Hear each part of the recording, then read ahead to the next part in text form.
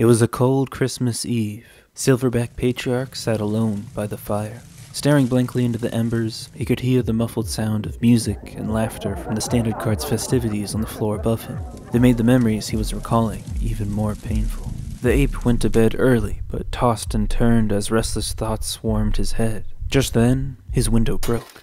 Alarmed, Silverback got up and looked out of the broken glass, but he could not see who the culprit was through the blizzard. Just then, he heard a familiar sound. There on the bed lay Ben Brode. Silverback Patriarch was shocked. What? What are you doing in my house? Ben Brode simply extended his hand, revealing a pre-order. Silverback was hesitant, but Ben Brode's warm presence was almost impossible to resist. He bought the pre-order, and at the very same moment, he was transported to an old game board. Where are we?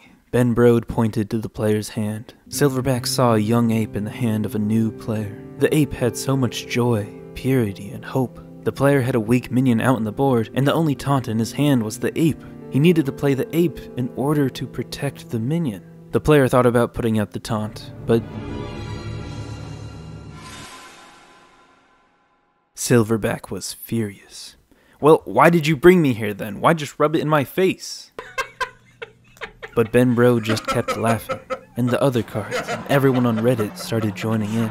He chased after the laughing crowd, but the world around him started to fade, and Ben Brode went to start his own company. Man, fuck this. I'm going to Artifact.